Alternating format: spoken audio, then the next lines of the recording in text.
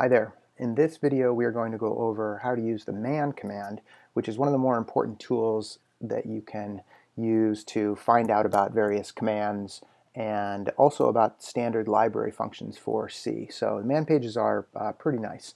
Uh, the easiest way to use one is if you happen to know the command you're looking for, you can type man and then the name. So let's say man ls uh, looks like this and it gives you a little description and it gives you all of the uh, various flags that you use for the uh, for the program you're trying to look at. So it's nice. And I'm just using the up and down arrow keys. You can also use the J to go down and the K to go back up, uh, much like Vim, uh, which is in a different video.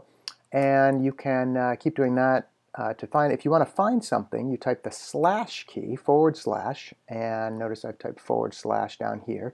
And then you type something like, let's say I wanted to find out what the uh, dash A command did. I type slash and then dash A and then enter and it will come up. And over here that's not the one I'm looking for so I type n lowercase n to go to the next one. That's not it.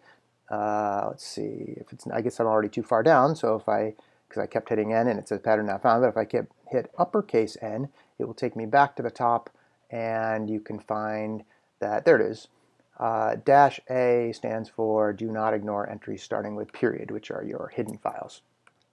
So uh, there's also, for instance, dash uppercase A, which is nice. It just it still gives you the hidden files, but not the two special directories. So there you go.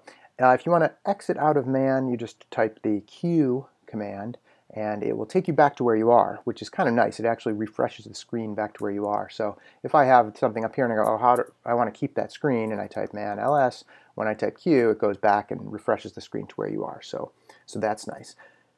Now, what if you don't want to, or you don't know the actual command, but you go, you know, I think something has to do with uh, print, for instance, man-k print, and it will it will uh, give you all the different things. Man-k means um, find all the commands that happen to uh, say something about printing in them. So you'll notice there's lots in here. I'm actually going to do my regular scroll up to see some of these. But uh, let's say I look through this and I go, oh, you know what? It's actually printf that I'm looking for. If I type man-k printf, it will give me just the printf commands. And you'll notice there's a couple in here. Oh, it is just printf. So man printf will give me the Unix command printf, which says, oh, it's, you know, you have formatting and you have options. It's much like the C printf command, actually. Uh, in fact, it'll do all the different uh, types of things. So if I want to just type printf, and then I type uh, hello world, like that, and then a new line, it will do hello world with new line. If I forgot the new line, by the way, it will do that, and then put my prompt after it like this, probably not what you want to do. Uh, another similar command happens to be echo, which we use probably more often. Hello world, like that, we'll just echo hello world. Uh, so anyway, that's how you use that. The, the synonym for man-k is actually apropos, and then uh, printf, and it will give you that. Now, if you notice, by the way, printf, there's two of them here. Which one do we look at? Well, the first one that comes up is the one if you just type man printf.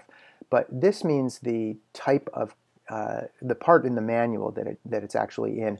Uh, three happens to be all of the standard, the C standard library functions, which is actually kind of cool. If you type man3 printf, it will tell you the how to actually use it. So you have pound includes uh, studio.h and then or stdio.h and then you can uh, use printf from there and it tells you how to do that. So for instance there's another one man3 atoi which actually stands for ASCII to integer. So for some reason you wanted to convert a string to an integer, this is one way to do it in, in C and it will tell you uh, how to actually do it.